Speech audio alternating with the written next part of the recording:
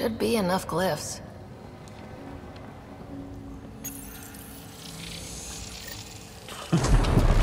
Looks like that did it.